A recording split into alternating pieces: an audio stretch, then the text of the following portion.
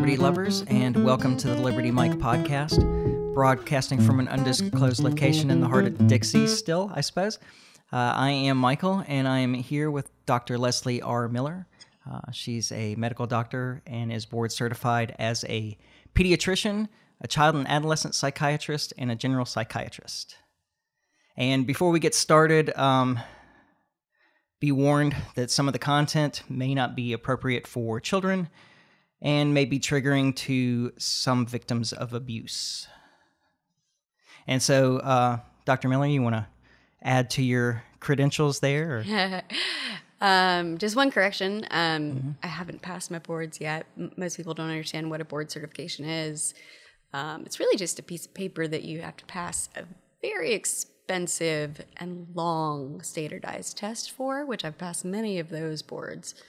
Um, but board certification doesn't occur typically until after you've gotten out of postgraduate training, residency, and fellowship. Okay. And you're the chief resident at Tulane. I am. Currently, yes. Mm-hmm. All right. Um, well, uh, we have kind of a downer of a topic here, but certainly one that doesn't get enough attention. I think. So um, let's start off with can you tell us a little bit about your history uh, and experience with victims of trafficking here in the U.S.? Oh, wow. That's a big question. Yeah. Um, I, so I've taken care of a lot of children who have been victims of sex trafficking here in New Orleans. Um, unfortunately, and kind of understandable that we're a port city. Um, it's disturbingly common um, and very, very difficult, not only to think about or talk about, um, but also when you have a child who's been through this to interact with them in a way that is going to be healing and helpful. Mm. Uh, I think my first case was a Latino girl uh, was probably in my second year of residency. My our my residency and fellowship is a five year program, um, and uh, the child was Latina, Hispanic, and she was an American citizen. Her father, however, was undocumented and was being deported so, unfortunately, legal circumstances, um, the child the child ended up being deported with the father. So, even now, I don't know that that kid is safe, and that's it's really really difficult. Um, and honestly, that's the biggest struggle of my job is that I can't save everyone, and sometimes the legalities and the politics get in the way of really saving children, literally. Well, to try and ease you, hopefully, a little bit on that. Um, no, you can't save everyone, but saving one person is enough. And I've heard it said. Um, that you did bring up an important point there, though. I think uh, that she was a U.S. citizen because I think that most people in the U.S. think that that um, victims of sex trafficking are overwhelmingly uh, um, foreign nationals of one stripe or another. Whereas the you know the statistics are that it's close to half and half. About forty percent of sex trafficking victims in the U.S. are U.S. citizens, um, and about a quarter of though uh, about a quarter of them are children. And I'm surprised it's only a quarter, honestly but that's experience bias. Yeah, well, and it could be a lot more anyway. The uh, obviously that it's an underground industry, so the data isn't completely reliable. Right, and so. how do you even get those numbers is a big question. So um, let let's start here with maybe just kind of defining what trafficking is. Uh, again, this is another one of those misconceptions. I think that most people believe that trafficking is really about moving people from place to place which I don't know that that's, I mean, that's certainly a feature in a lot of cases, but it's not really a defining feature, is it? Mm, uh, so there's a lot of different definitions. There's not one generally accepted definition, which also makes this difficult from a legal perspective. Um, I did a lot of reading on what is the definition of trafficking based on a case of a young black girl that was being trafficked um, between Baton Rouge and New Orleans. Um, and talking to a lot of experts, me, my definition of trafficking is being transported at least across city lines, or really, you don't even have to cross city lines mm-hmm. from your home, your school, where you're supposed to be, and then being housed against your will to do some service that is coerced. Mm-hmm. Um, well, that seems to be the defining feature, at least legally here in the U.S. You know, the Justice Department essentially defines sex trafficking as people that are being um, threatened, forced, or coerced mm-hmm. uh, into, um, you know, performing commercial sex acts. Mm-hmm. And then anybody in commercial sex acts, even if they weren't coerced, technically speaking, if they're under 18, it, it still qualifies in the U.S. Mm-hmm. Um, which, you know, brings in. I mean, the question there is like, are you ordin- old enough at that age to uh, consent to that kind of activity anyway? And the at least the legal assumption is absolutely not. Yeah, I'd agree with that. Um, so maybe we can get into some specifics here to help people understand. Well, first off, um, so we can kind of get something going here right up front, and we'll reiterate closer to the end.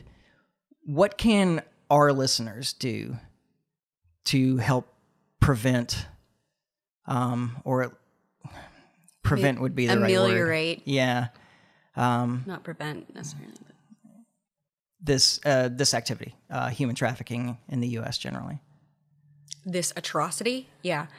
Um, yeah, I, I mean, that is the most important question of anything that we're going to talk about. And just to reinforce that, I'll I'll talk about it now, and then I want us to go back over it at the end because these are really, at the end of the day, the take home points that I have for everyone who's listening to this. I've got one, two, three, four, five pieces of advice. All right. Number one, um, advocating through talking to politicians. So, truly being an advocate and going to the Capitol and having face to face conversations.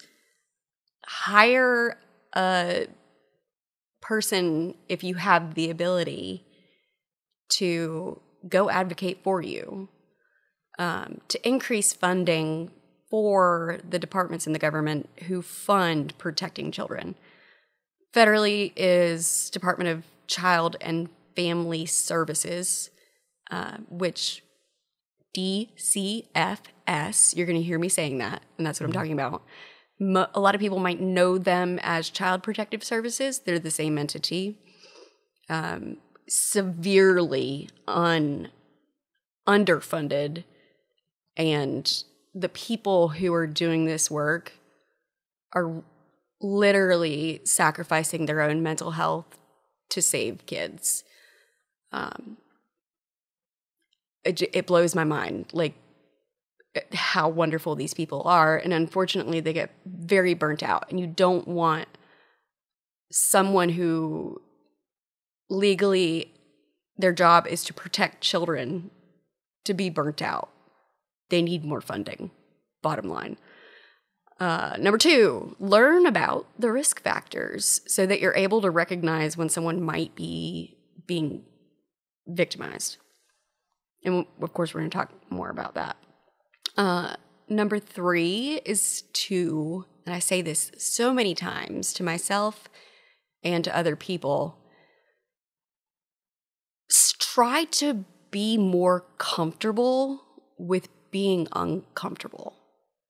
So, when we're talking about having conversations with others about race, about sex trafficking, about how our population says they care about children, but they don't show it in actions, um, embrace that discomfort because nobody ever made any progress without getting a little uncomfortable. Uh, number four, if you are in a place in life where you can adopt a child, please do it through foster care instead of a private organization like Catholic Charities. I love Catholic Charities. I you know, I think they're a great organization, but the kids who really need saving are not going to come through Catholic Charities. They're going to come through the the foster care system. And last but not least, encourage and educate others about the things that you learned today. Um, and try to consider becoming a foster parent or learn more about it. There's another way you can get more involved in that you can volunteer and become a court appointed special advocate, which I will here for refer or wait, which I will now refer to as CASA, court appointed special advocate which you go through a training program and then the volunteer hours are on average one to two hours a week. So most people who are working, have families, other stuff, can fit it into their lives, but the role that you take is as a I want to say civilian, or if you're a Harry Potter fan, a muggle to me. Um, you volunteered to speak on the behalf in courts in medical interactions to influence the deci- decisions that are made for a one child that represent your understanding of what's in the child's best interest. So you're only function is to help communicate what's best for the child and like if you had an adult brain and you put it into a child's brain, you're supposed to facilitate that communication of what the child wants and needs. Okay.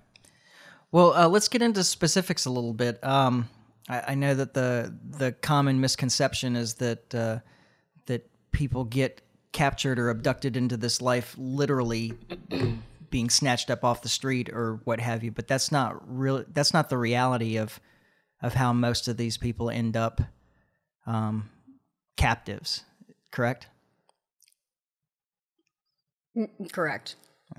Um, and so, what what are the more common pathways that uh, I guess that children go down to find? Hmm, now I'm making it sound like it's intentional. Oh no, no, I, I, I like that line of questioning. Um, to find themselves uh, captured into this horrible industry. Yeah. So not captured, um, but mm, right. I think most listeners will understand what you're asking. Um, you know, there's a lot of things that put people at risk, and we can look at the statistics that we have to kind of identify groups of people, groups of children who have a higher chance of somehow getting into a trafficking situation. Um, and I think knowing those risk factors is really important in understanding all of this, especially for those out there that have no experience with what we're talking about. So, learning the risk factors makes you muggles more likely to actually recognize it if it happens to show up in your life. And I mean, often I think it's related, it somehow substance abuse is related um, in every story that I hear. Um, you know, most people know about sex trafficking from like hearing political discussions or watching movies. Um, but a lot of the coercion that I've seen and experienced in taking care of these people, substances are usually involved. Um, more often I, opiates. Yeah. Um, can I ask you there? Is this uh, substance abuse that was introduced as part of the a part of them being brought into this industry, or is this substance abuse that is being taken advantage of to keep them there? Well, like, is it a, is it a pre existing substance abuse issue that is being uh, leveraged? I guess. No, and the I mean, you could you can deduce why methamphetamines and opiates would be the drug of choice that is used by people who are the perpetrators of trafficking because like they're both highly addictive. Right, exactly. Um, it's used in a, a manner of control and it is not normally pre-existing or in my in my experience like i don't know what's actually happening on the ground in reality because like even our stats are not necessarily the most reliable just based on their inability to collect the data. Um, you know all of these a lot of victims are not even recognized Yeah. so And it's essentially aggregated from notes that were uh, information that the victims volunteered. So if they leave something out, then it's not included in the data. yeah Um, so, but it's it's uh, it's frequently some form of control through threat or coercion. Um, in this way, and I did see some statistics that in uh, a lot of youth cases, like a surprising number to me, um, there was like a romantic involvement with the trafficker that um, was was the method of control used. and that's based on self-report yes, exactly. yeah um, what is the name of that syndrome where you fall in love with your captor Stockholm. stockholm syndrome Yeah. i wouldn't number one self-report data is should be taken with a grain of salt especially in this case because there is so much coercion and you know Manipulation. everybody manipulation power control so a person can essentially be brainwashed to believe something. Like i'm sure these traffickers told their victims that they love them. Um, you know it can be the same thing with physical abuse. Like you tell people lies and you control this and isolate the victim so that the victim actually believes your lies. And as a consequence of that you know a lot of what i do as a child psychiatrist is helping on a developmentally appropriate level without saying things that will re-traumatize victims is helping them to unlearn the lies that they've been trained to believe. Mm-hmm. Um, and uh, there's also use of um, other relationships of the victims to control them, right? Uh, threats to children, parents, whatever else. Yeah. Um Yeah. Um usually it's threats like homicidal threats that I've come across and that the perpetrator makes the victim believe that you would your fir- first thought might be that they're going to kill them, but it's actually threatening to kill people of value to the victim, like parents, siblings, uh, sometimes future romantic partners. Um, they try to convince the victim that they cannot live or someone's going to get severely hurt or lose their life if the victim doesn't comply. Yeah, I, I think if you if we back out a little here, that threats to loved ones generally are more effective coercion than threats to the, the person themselves in you know across the board, not just in trafficking situations. Oh, yeah. Um, how? Uh, so the the the children that you've treated that had been um, victims of trafficking, they escaped in some way or another. Is there like how do they escape from um, this life? In the cases that I've experienced, it's actually all the same of like how they came to interact with me and that they've threatened to commit suicide and they end up in a psychiatric unit or an emergency room. And, you know, a victim can tell literally anybody that that person calls 911 they go to the emergency room they get admitted to a psychiatric unit. Hopefully depending on where you live. Unfortunately child psychiatrists are extremely rare in this country and even more rare are inpatient child psychiatry units in hospitals or psychiatric hospitals that children can be admitted to which is another area of advocacy is advocating for more funding to train doctors in general. Because interestingly, the training programs that are required for me to do my job are funded by Medicare. Mm-hmm. Extremely underfunded. And it's a huge problem to why physicians are not the ones taking care of these people and often it ends up being nurse practitioners. No hit on nurse practitioners. I, I know wonderful ones, but there is a reality in the difference in the number of years and the type of training. Uh, a side question there. Um, in this world of managed healthcare that we oh god live in now, uh, I, I, know that my experience with um, with regular hospitals is that the goal is to stabilize the patient and free up the bed. Um, and as soon as the patient is stable enough to be let go, they are let go. Do do uh, inpatient psychiatric units function more or less the same way? Is it?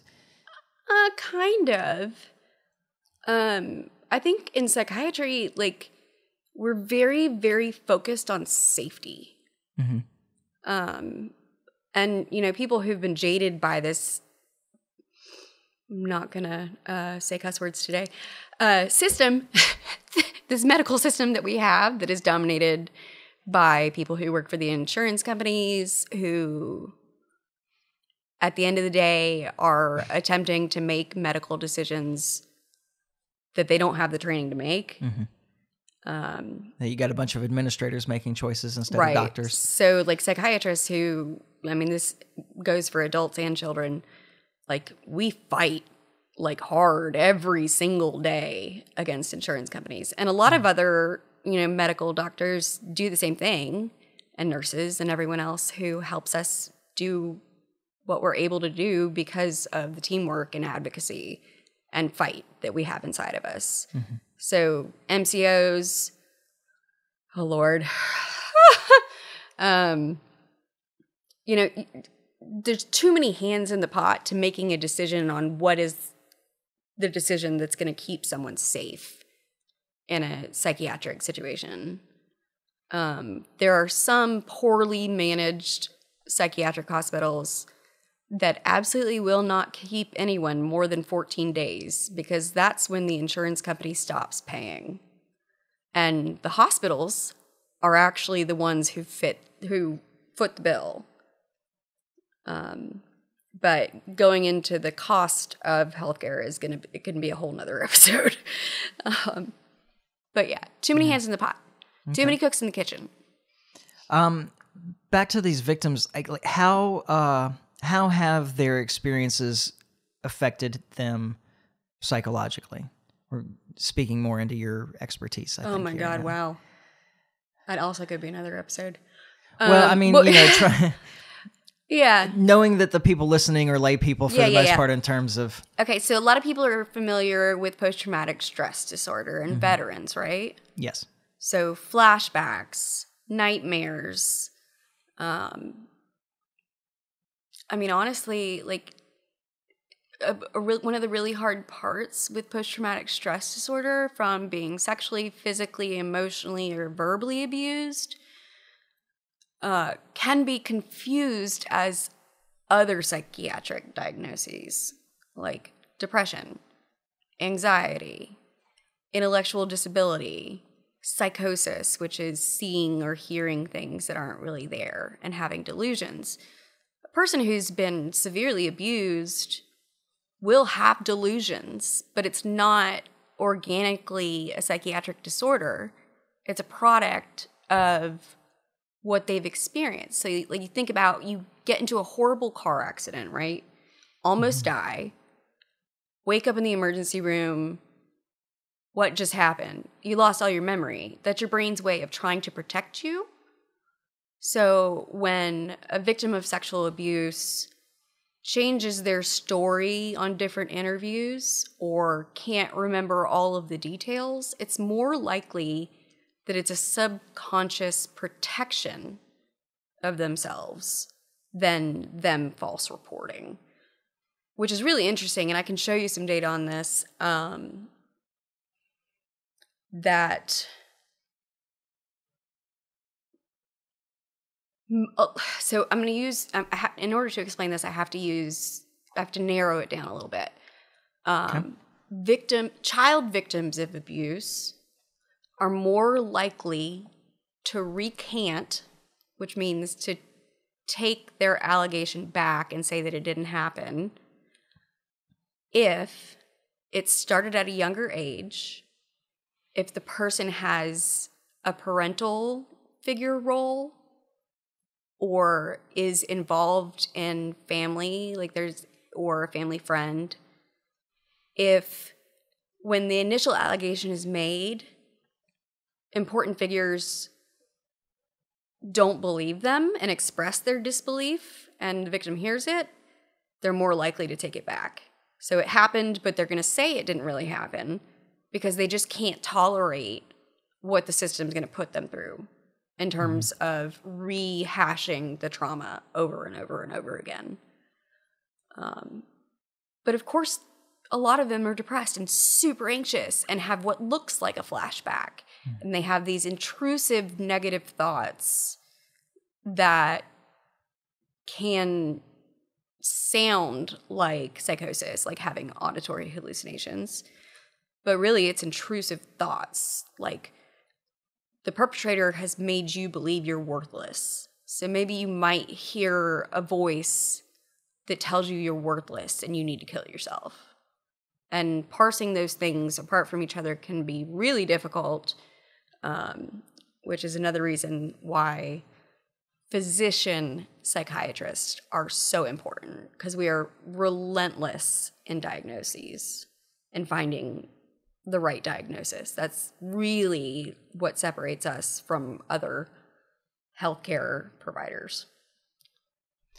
Um, how this is, I guess this is kind of a treatment question, but um, how uh, how do you help these victims recover and reintegrate after such a severely traumatic experience? Well, one of the protective factors from what I was just talking about that article, which, like we already said, there's not tons of research, and the way that this was found in the literature, in the medical scientific literature, is because these people were already involved in the justice system. So we are able to get the data. Um, but being removed from that environment where they're being victimized as fast as possible, so the shorter duration of exposure to abuse, um, I don't want to say just protective factor. It's not protective, but well, I mean, I guess it is. Um, you have a higher likelihood of having a positive outcome if you're you haven't been abused for years versus one time. Mm-hmm. One time, as you can imagine, is severely traumatic. But imagine these people where it's been going on for five years. A lot of, but there are a lot of people out here who, who don't have memories prior to five years old. Mm-hmm. Um, and I'll tell you what, the brain is fascinating. It does things that we don't understand and we can't control. But to get the treatment question, um, there are a lot of mental health professionals who have opinions on how to treat PTSD in general. Um, a lot of people will tell you that the primary treatment for post traumatic stress disorder, PTSD, is therapy. You can't medicate this away, y'all. You really can't. with saying that, I will say, kind of to get at what I was talking about earlier, is that, you know, it might look like depression or psychosis, but it's the cause, when you get down to the cause, it's the trauma. But they do have symptoms of depression and anxiety and flashbacks and nightmares. And there are some medications that we can use to help with the symptoms. But at the end of the day, therapy is really the big answer. Okay. Um, what uh, we can take this two ways, I guess. So I'm going to ask both questions. Um, what policies um, contribute to the to the perp- the perpetuation of trafficking, or what factors um, in a person's life make them more susceptible? I mean, we talked a That's little bit about questions se- in one. Yeah, it is. Um, I'll start with the first aspect of that. Okay. And the first thing that came to mind was I had a patient once that was over the age of 18, but younger than the age of 20, who was raped by a 16 year old. And because the victim is over 18 and an adult, that victim could have been charged with statutory rape Okay. even though she was the victim, because the perpetrator was young. And you don't normally expect that, right? You picture adults victimizing children, children also victimize children. Mm-hmm. But this was a very unique situation, and it prevents victims from being able to report. I mean, most of the time, people don't believe victims anyway. And, you know, it's a really brave action to report something like that because it brings a lot of t- attention on you and rehashing trauma over and over and over again also increases the likelihood that someone is going to recant. hmm Um, because every time you talk about and go through the details of a trauma, from a for- Freudian psychoanalytic perspective, you're re traumatizing. That's why we encourage to only ask about the trauma if you are a trained professional. Um, so that they, the victim doesn't have to rehash it and remember and soli- by keeping remembering and thinking about it you're solidifying it in their memory and in their brain Okay. Um, what about uh, the factors that make children more susceptible to being victims of trafficking? Um, so we talked a little bit about substance abuse. I actually found this screening tool literally like two days ago um, that I had never seen before. Um, and it's a screening form tool, um, risk screening for sex trafficking. And the name of it is Metanola. No, wait, is that Metanola? No, I don't even know how to pronounce Met- Metanoia. I don't know. Uh, M E T A N O I A. Um, but I think that, that metanoia maybe. Yeah. Um, Like depends on whether it's but meta. maybe unless it's French. Um, but it, it, I like the screening tool to really like highlight some of the risk factors that people would be looking for to identify a victim. Um, and I'll just read some of them off. Um, number number one is literally that the victim reports it okay. obvious. Um, if they have ever, if there's an existence of photos or videos of the victimization, um, or being used by someone else to advertise, and likely, you know, posting on social media. Um, social media is a whole nother ball game, so uncontrollable. Um, if they've ever engaged in trading something of value, which includes housing, food, water, drugs for a sexual act. And honestly, like that's the that's one of the biggest risk factors we should talk about is that a lot of the time you know, it's not Liam Neeson and a well-off person who is being kidnapped and trafficked. Mm-hmm. It's people in poverty who are literally just trying to survive. Um, and then you add into that a non or not fully developed brain, and you're even at higher risk. I imagine that most of the adults in those stats you quoted earlier, about what was it, 40% of trafficking victims are American, Yes. and only 25% of those are children. My theory to explain those numbers, not necessarily like the US born citizen versus not question, um, is that most people aren't actually Oh. reporting until they become adults. Yeah, and, and just to be clear, that's it's like twenty five percent of the total, not twenty five percent of the forty percent. Oh, it's not? Oh, okay.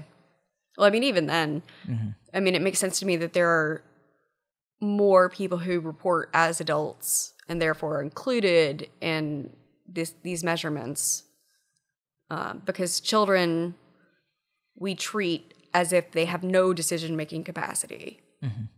And that's one thing that I'm very, very passionate about is that you need to listen to your kids. Like, that's, or any kid, like, they are individuals with values. And a lot of people say, oh, no, you're, do this because I said so. But I think people need to give kids a lot more respect. Doesn't mean that adults shouldn't have the decision making power at the end of the day. Um, but children are a lot more vulnerable, and we, when we don't believe them when they're seeking help, it is a very big problem. Um, but other risk factors, you know, substance abuse, um,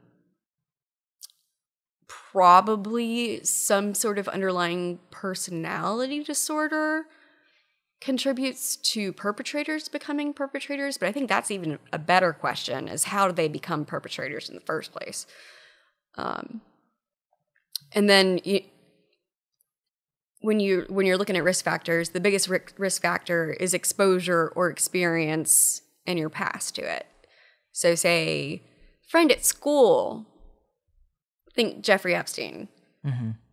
Oh i met this person or I, I knew this person in my life who committed suicide because they had PTSD and they were raped violently. Sorry, y'all. I know that's really uncomfortable, but it happens. Be real. Um, or living in a neighborhood or an area that is more susceptible.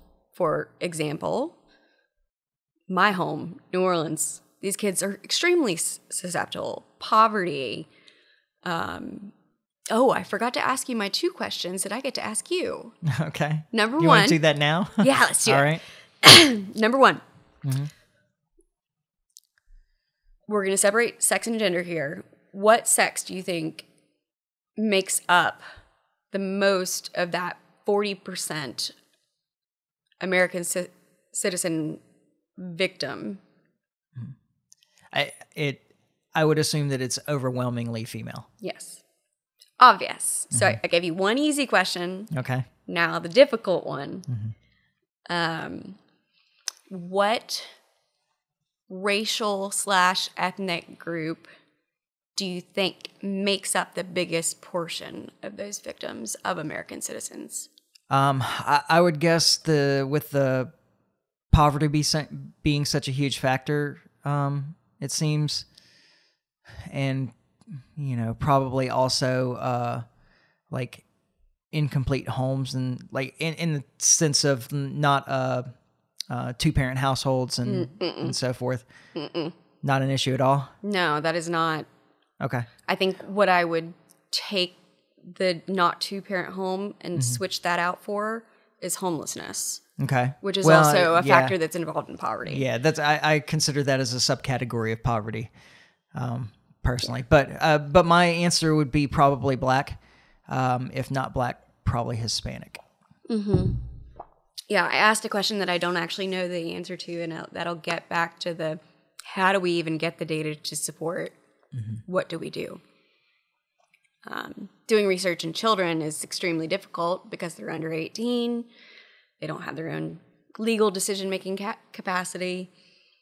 Um, we don't empower them to learn how to make difficult decisions. Um, but I would agree it's pro- the highest prevalence is or the highest number of group or percentage of the group that are victims is between African Americans, black people, and Hispanic people. I kind of wonder if Hispanic Hispanic girls and women might be a, a higher percentage just because of cultural and language barrier issues.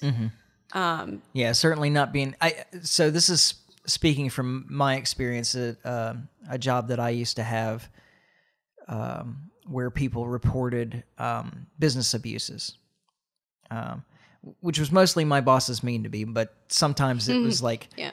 Uh, something really serious. And what I came across quite a bit was um, Hispanics working at low wage jobs Oh, yeah. being taken advantage of to a great degree because they didn't understand what their rights were. Mm-hmm.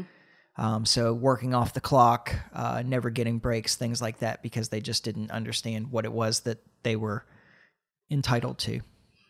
Yeah, that makes sense. And it also speaks to the difference between labor trafficking and sex trafficking. Because then you really are thinking about adults who, to a lot of people who unfortunately don't have the knowledge yet, are coming to America to take our jobs and make everything super expensive and make you less marketable and uh, competitive. But honestly, like, ignorance may be bliss, but it also makes a lot of these people, like you said, at risk of being victims. Yeah. Well, and I suspect that uh, that um, labor trafficking is also mostly adults, but you know some of these other factors that we talked about in terms of making people more susceptible to sex trafficking, like substance abuse and so forth. When you're talking about illicit industries to begin with, like selling drugs, um, kids can very easily be used uh, as um, coerced labor for those kinds of activities as well. Mm, Yeah, and I mean, when we talk about labor trafficking, one of the big examples that might come to people's heads is the children working in a Chinese factory. Um, but I think the group that we kind of were talking about was more the Latino or Hispanic people being employed, like you described earlier, in these circumstances. Um, And I, I've been told closer to where I live, it's uh, Eastern European. I believe that. Um, but you again, you have a, a language barrier, um, a lack a of cultural- understanding of what you know what labor rights are are here. Knowledge of the law. Mm-hmm. Yeah. So um, we're looking at poverty, homelessness, language barriers. Uh, I imagine um, children alone Mm-hmm. probably makes them more susceptible, either parents absent completely or just not around or not interested. Um, Yeah, most people think kids are the most difficult people to control, but I don't think adults understand how easy they can be to control and that everyone has a responsibility to pr- protect them yeah. because they can't protect themselves. Um, past physical and sexual abuse. Absolutely. Um, I, I'm curious about. Do you have uh, Do you have any idea what the contributing factors to becoming perpetrators? That's a good question. Maybe. Eh, well, again, you know, this is a question that we can't really get at with data necessarily because thinking about how a sex offender becomes a sex offender is a conversation that makes a lot of people really uncomfortable. Um, early on in my career, and still now, you know, I think one of the most important things we need to change is actually treating the offender so that they don't reoffend. And we see that in like treating pedophilia, but pedophiles aren't as like in the strict diagnosis of pedophilia aren't as common as people who abuse others in a sexual way. Um, and I can't think of where to find the data on this, but I would be willing to place bets on the commonality between victims and perpetrators being having been been abused themselves, um, isolated, uh, groomed from a young age for certain beliefs. Also, grooming uh, victims is also is another oh my god crazy conversation. Um, but yeah, I think treating we we we need to pay, more attention to the per- perpetrators and what we're going to do about them, other than putting them in jail and letting them out for some other legal reason. And Yeah, I- thinking about treating them so that they don't continue to perpetrate and build their list of victims. Well, and I'll tell you honestly, when I was reading um, about uh, human trafficking in, in preparation for this, uh, I, you mentioned Liam Neeson earlier. Like I was thinking, like what I when I started looking through charities, I was I was actually kind of looking for one that you know hired people with a specific set of skills to mm-hmm. go find these kids, release them, and make sure that whoever the perpetrators were never did anything again. And I'm generally not an advocate of, of violence as a way of solving problems, but hmm. like when I was reading about a lot of these things, like honestly, my thought was the answer to the perpetrators is a bullet in the brain pan. And Yeah, and I think Like, I think nobody a lot could of, deserve a lot it more. feel that way. yeah, understandably.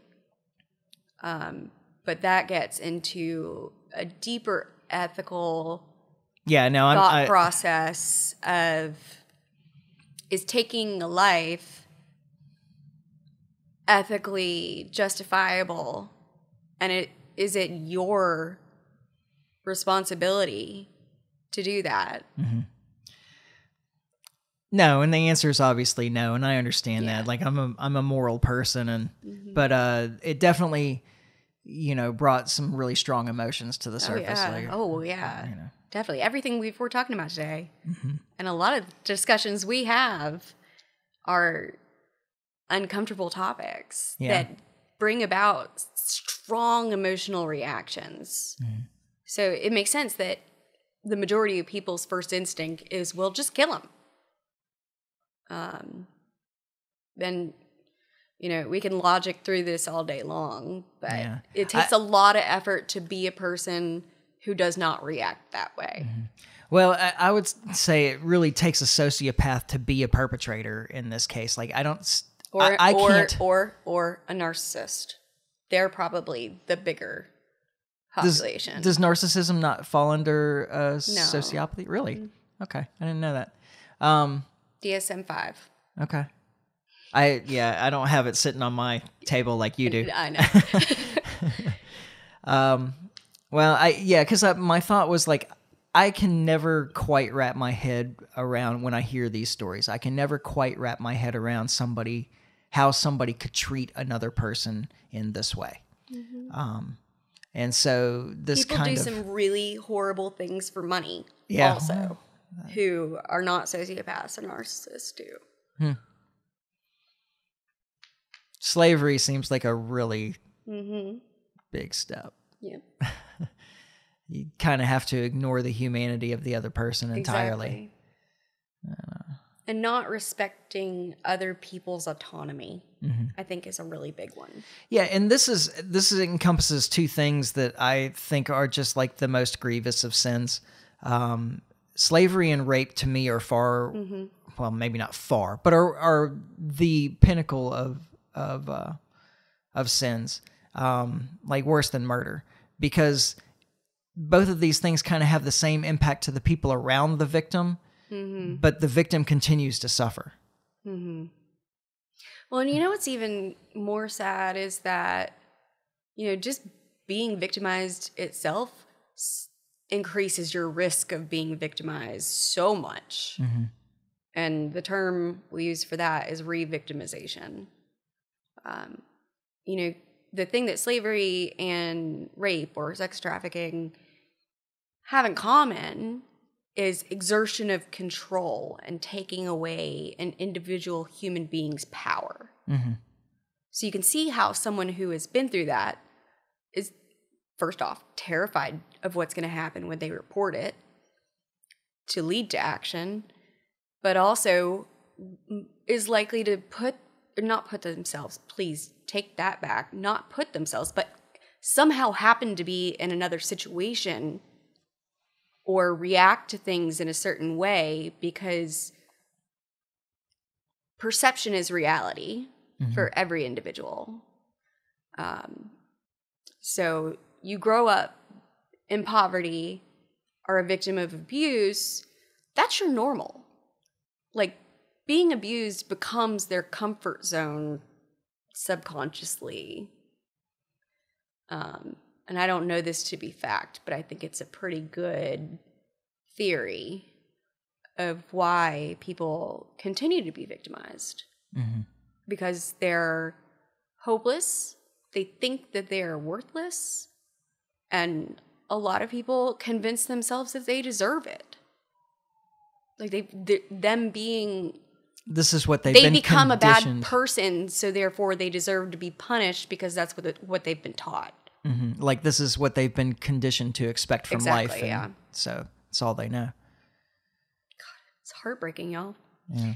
Should we like throw something positive in to like bring everybody up real quick? If you want, I was gonna uh, like um, that's that's essentially my list of questions. So Yeah. what I had left was, um, is there anything that we haven't talked about here that you want to express to the audience? Ooh, yeah.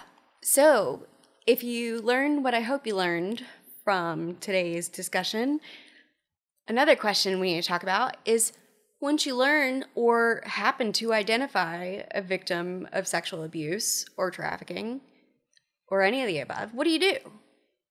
Well, you can call 911, but a police officer is not an expert in invest- investigating this type of trauma without re-traumatiz- re-traumatization or a lot of law enforcement out there that are and lord have mercy do i appreciate them so much for prioritizing people with issues with mental health um, rather than shooting them um, but if you happen upon someone who you think is being abused, please do not directly ask them to tell you the story or give you all the details. Um, one of the most powerful things you can do when you come upon a victim is to give them resources so that they have access to them, but they don't have to ask for them um, you know, the victim's already gone as far if they've endorsed it and reported it, they're asking for help. But just giving people the resources is the biggest thing. Women's shelters, oh my God, the best thing we have in this country that is well funded. Um, and God, they do such a good job. So it's not just women, but also women and their children getting out of a lot of these situations, you know? Um, and it, there's a family unit that needs to get away from an abuser. Um, there's also a 1 800 number, and I think I said this to you before. Here in New Orleans, in the airport, in the women's bathroom, we have these little signs on the back of the bathroom stall door that has a 1 800 number that says, if you or someone you know is being trafficked, call this number. And I don't know the name of it. Did you end up looking that up? Um, yeah, I came across it several times, and I'm actually trying to look it up right now, real quick. We can just give it to everybody. Yeah, but it's interesting because, um, you know, you're in the airport, about to get on a plane, sit down to pee, and you're like, oh, somebody does know that this is really happening and it's not Pizzagate and it's not why we need to build a wall to keep the Mexicans out. Uh, it is the National Human Trafficking Hotline, um, and the number is 888 373 7888. Um, You can also do SMS texts at 233 733. Awesome. And uh, I'm also curious, and I would love to know from the males out there if they're putting these signs in airports in the men's bathroom too. I think that would be a really interesting thing to know. Or if it's just in the women's bathrooms. Yeah, I can't answer that question because I make every effort not to have to sit down in a bathroom in any airport. Uh, I, there's is one other thing I want to bring up too. Um, But uh, they can always email me at Michael at the Liberty Mic, and I will forward you any. thanks. um, is that once someone has reported, in order to take legal action, it's incredibly difficult, right? Because in the judicial system, there is a heavy burden of proof. Mhm. And you're talking about a victim who may have protective, biological protective actions that cause them to not remember all the details. The amount of documentation that you have is also limiting in treating victims.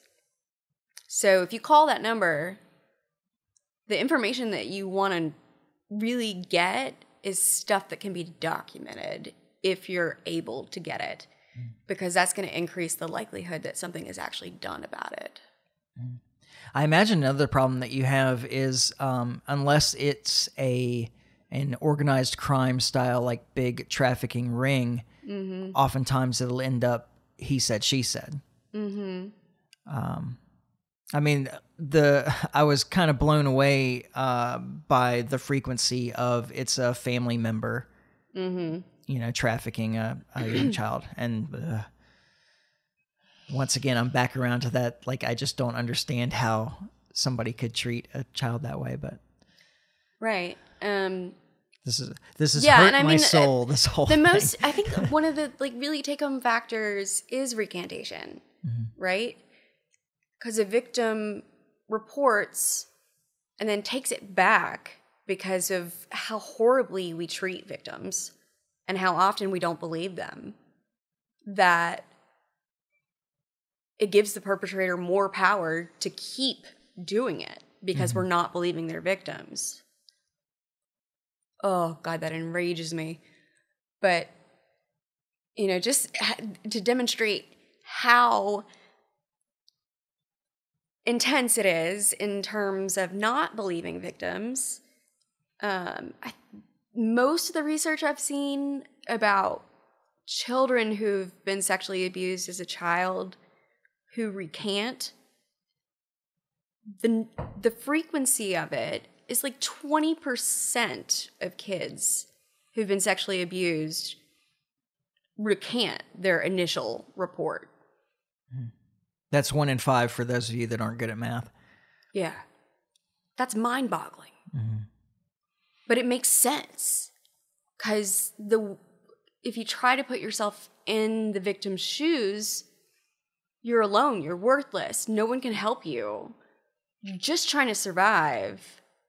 It's way easier just to give up and say nothing happened because of all the pressure that's being put on you to let it, or not let, but to not cause further pain to the world, not necessarily you, but anybody else who's involved. Hmm. I- I would say a- a big thing is like having the mental ability to put yourself in the experience, in the shoes of a victim, and why they might be thinking or feeling something that doesn't make sense to you is extremely important. Okay. Do you have anything else that you want to want to add here? Oh man.